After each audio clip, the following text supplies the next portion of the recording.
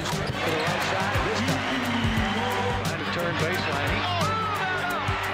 Drawn and Drexler. In it comes now Hakeem. Spin move. Look at that.